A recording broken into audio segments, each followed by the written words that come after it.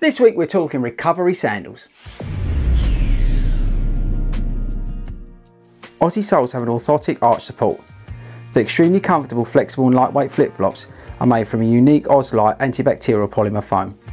The flip-flops feature medial and transverse support, deep heel recess for extra comfort and a tarsal bar that aids the elimination of toe clenching. The flip-flops have support in them that realigns your feet into their natural position. This also helps the alleviation of common foot pain like plantar fasciitis. Hey, what's up guys and welcome back to Fordy Runs. Now, if this is your first time at Fordy Runs, I want you to smash that pink button down there that says subscribe on it. Go to our Facebook page and join the Fordy Runs running community and check out the description. There's loads of cool things down there, including the link to Aussie Soles and OFUs or OFUs or whatever you want to call them. Right, recovery sandals, let's get stuck in. Right guys, so first up a disclaimer, I was given these sandals or flip-flops by Aussie Soles to test and to try out. I wasn't given the uh, OFUs or OFUs or whatever you want to call, but I thought it'd be cool to compare the two, but I just want to give a disclaimer. Uh, Aussie Soles have no, uh, obviously, uh, say on the video, they don't pay me for the video or anything like that, but I just wanted to let you know before we started. Right, so recovery sandals. Now these are a cool thing. There's also another um, type you can get made by Hoka, and I think there's some other ones that are out there. But I think the most popular out there are the Ofus or Ufus, and I'm probably going to get shocked to pieces in the uh, comments about the pronunciation, but you know what, I don't care. Um, and these are probably the most popular out of them.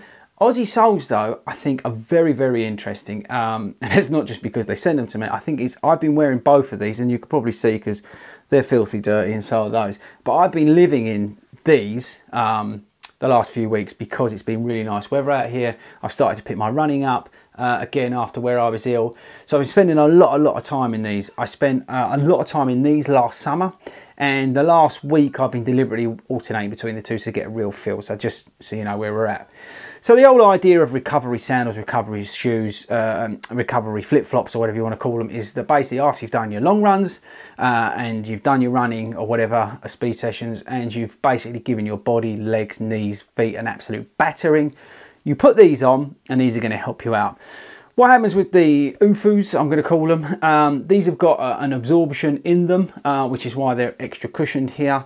And basically that's taking a lot of, it's like acting like a shock absorber and it's taking a lot of the stress away as you are walking. So after those runs where you, hey, say you've put stress on your body, on your knees, these are taking a lot of the stress away from that as you're recovering uh, from that run. So, I mean, for example, after a marathon, these are amazing to put on.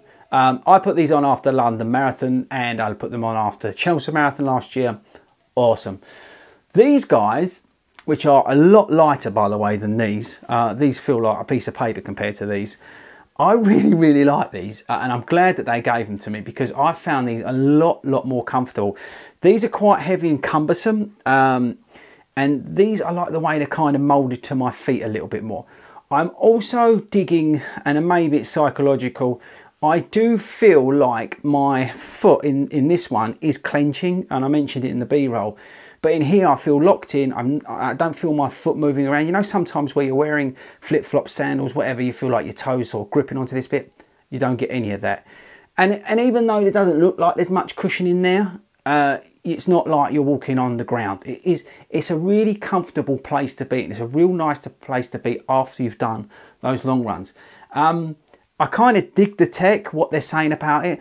I can't say that I've noticed. I don't. I'm really lucky. I don't. I'll touch some wood. I don't suffer at the moment from like plantar or anything like that. I don't have any issues with that. Um, so I'm really lucky in that respect. So I can't say that I've noticed any different with regards to the alignment and all that sort of stuff that they that they have in this.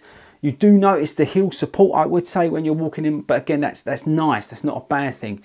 So out of the two, with regards to recovery sandals, if you if you want something a little bit more natural feeling, if you want something that's, uh, you know, like I say, you don't feel like you're clenching with your toes and stuff like that, nice and lightweight, then go for the Aussie Soles. If you want something that's a little bit more cushioned um, and you don't mind being heavier, then maybe go for the OFUs or OFUs. But for me personally, I'm really, really digging the Aussie Soles.